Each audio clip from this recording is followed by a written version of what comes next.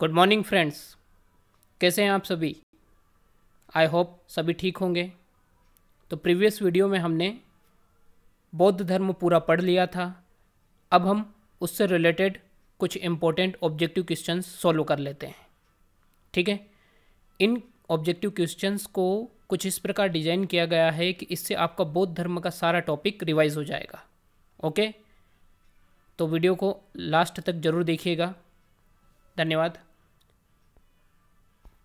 पहला क्वेश्चन बौद्ध धर्म का संस्थापक कौन थे? तो बिल्कुल आपको इसका आंसर पता है कि बौद्ध धर्म के संस्थापक गौतम बुद्ध थे। ठीक है?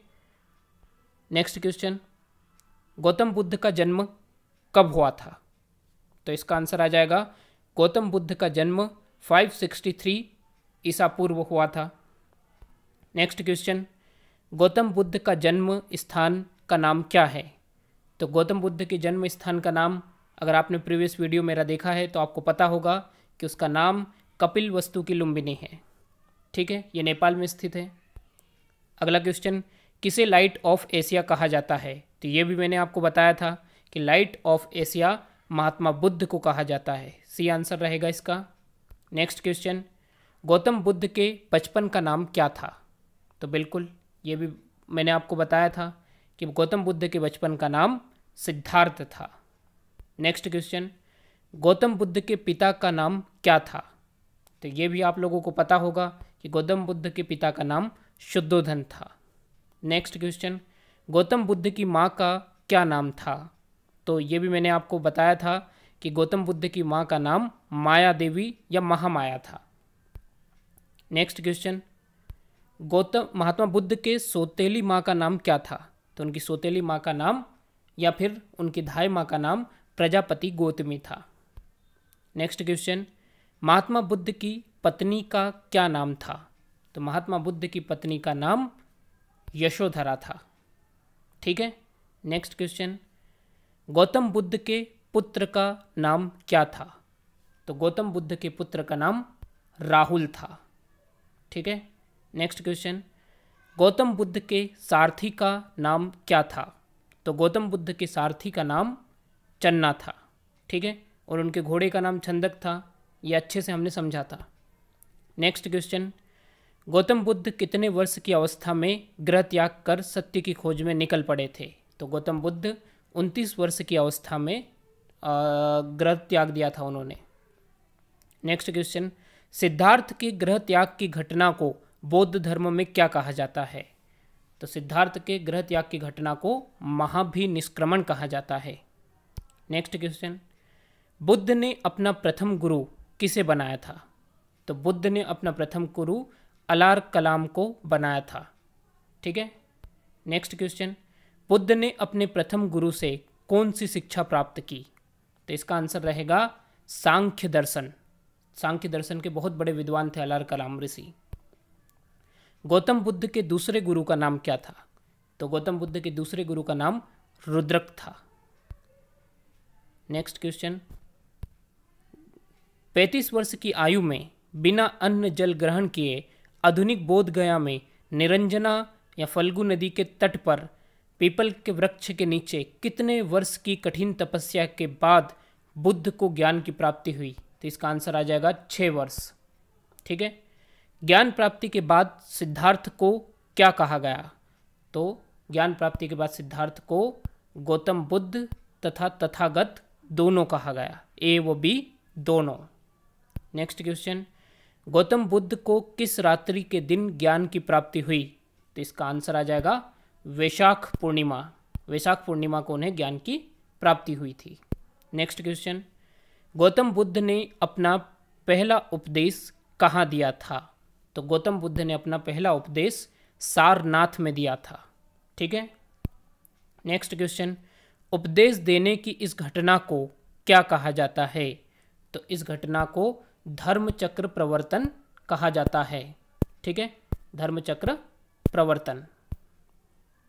नेक्स्ट क्वेश्चन महात्मा बुद्ध ने अपने उपदेश को किस भाषा में दिया था?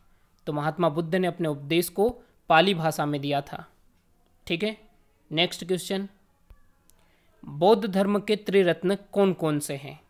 तो आप लोगों को बिल्कुल पता होंगे कि बौद्ध धर्म के त्रिरत्न बुद्ध, धम्म और संघ हैं। नेक्स्ट क्वेश्चन बौद्ध धर्म में प्रविष्टि को क्या कहा जाता है? यानी अगर आप बौद्ध धर्म में शामिल होना चाहते हैं तो उसमें उसे उपसंपदा क्या कहा जाता है? उपसंपदा कहा जाता है। नेक्स्ट क्वेश्चन बुद्ध के अनुसार देवतागण भी किस सिद्धांत के अंतर्गत आते हैं? तो कर्म सिद्धांत के अंतर्गत आते हैं। नेक्स्ट क्वेश्चन बुद्ध ने तृष्णा की घटना को क्या कहा है? तो इसका आंसर आ जाएगा, निर्वाण। बुद्ध ने तृष्णा की घटना को निर्वाण कहा है। ठीक है? नेक्स्ट क्वेश्चन बुद्ध के अनुयायी कितने भागों में बटे थे? तो बुद्ध के अनुयायी दो भागों में बटे थे। गृहस्थ और भिक्षुक, ठीक है? नेक्स्ट क्वेश्चन जिस स्थान पर बुद्ध ने ज्ञान की प्राप्ति की थी, वह स्थान क्या कहलाया? तो वह स्थान बोध गया कहलाया। नेक्स्ट क्वेश्चन महात्मा बुद्ध की मृत्यु कहाँ हुई थी? तो महात्मा बुद्ध की मृत्यु कुशीनगर में हुई थी। आपको पता है कि यह मल्लों की राजधानी थी। नेक्स्ट क्वेश्चन महात्मा बुद्ध की मृत्यु कब और कहाँ हुई? तो कहाँ हुई और कब हुई? तो कब हुई? तो ये 483 ईसा पूर्व में इनकी मृत्यु हुई थी। नेक्स्ट क्वेश्चन महात्मा बुद्ध की घटना, मृत्यु की घटना को बौद्ध धर्म में क्या कहा गया है? तो महात्मा बुद्ध की मृत्यु की घटना को बौद्ध धर्म में महापरिनिर्वाण कहा गया है। ठीक है? आप विशेष तौर पर याद रखिएगा, बहुत इंपॉर्टेंट क्वेश्चन है ये। प्रथम बौद्ध संगीति किसके शासनकाल में हुई थी? तो ये आज़ाद शत्रु के शासनकाल में हुई थी। ठीक है? नेक्स्ट क्वेश्चन द्वितीय बौद्ध संगीति किसके शासनकाल में हुई थी? तो इसका आंसर रहेगा कालाशोक। कालाशोक के शासनकाल में द्वितीय बौद्ध संगीति हुई थी। नेक्स्ट क्वेश्चन तृतीय बौद्ध संगीति किसके शासनकाल में हुई थी? तो इसका आंसर आ जाएगा अशोक। अशोक के शासनकाल में तृतीय बौद्ध संगति हुई थी। ठीक है? नेक्स्ट क्वेश्चन चतुर्थ बौद्ध संगति किसके शासनकाल में हुई थी? तो चतुर्थ बौद्ध संगति कनिष्क के शासनकाल में हुई थी, जो कि कुंडल वन काश्मीर में हुई थी। ठीक है? नेक्स्ट क्वेश्चन प्रथम बौद्ध संगीति कहाँ हुई थी? तो प्रथम बौद्ध संगीति हुई थी राजगृह में। ठीक है? नेक्स्ट क्वेश्चन द्वितीय बौद्ध संगीति कहाँ हुई थी? तो द्वितीय बौद्ध संगीति हुई थी वैशाली में। नेक्स्ट क्वेश्चन तृतीय बौद्ध संगति कहाँ हुई थी? तो इसका आंसर आ जाएगा पाटलिपुत्र। नेक्स्ट क्वेश्चन चतुर्थ बौद्ध संगीति कहाँ हुई थी? तो इसका आंसर आ जाएगा कुंडल वन कश्मीर में। ठीक है? नेक्स्ट क्वेश्चन बौद्ध धर्म को अपनाने वाली प्रथम महिला कौन थी? तो इसका आंसर आ जाएगा प्रजापति गौतमी। यही महात्मा बुद्ध की धाई माँ थी और सोतेली माँ भी। नेक्स्ट क्वेश्चन भारत से बाहर बौद्ध धर्म को फैलाने का श्रेय किस राजा को जाता है? तो इसका आंसर आ जाएगा अशोक। अशोक ने अपने पुत्री संघमित्रा और पुत्र महेंद्र को बोधि वृक्ष लेकर सबसे पहले श्रीलंका भेजा था। ठीक है? नेक्स्ट क्वेश्चन बौद्ध का परम धर्म लक्ष्य है। तो इसका आंसर आ जाएगा निर्वाण। निर्वाण आप लोगों को पता होगा इसका आंसर भी। नेक्स्ट क्वेश्चन धार्मिक जुलूस की शुरुआत सबसे पहले किस धर्म से शुरू की गई? तो इसका आंसर है बौद्ध धर्म। ठीक है? बौद्ध धर्म से सबसे पहले धार्मिक जुलूस की शुरुआत की गई है। नेक्स्ट क्वेश्चन गौतम बुद्ध के जन्म का प्रतीक क्या है? तो इनके जन्म का प्रतीक कमल व सांड है। ठीक है? नेक्स्ट क्वेश्चन गौतम बुद्ध के ग्रह त्याग का प्रतीक क्या है? तो इसका आंसर आ जाएगा अश्व। ठीक है? नेक्स्ट क्वेश्चन गौतम बुद्ध के महाबोधि का प्रतीक क्या है?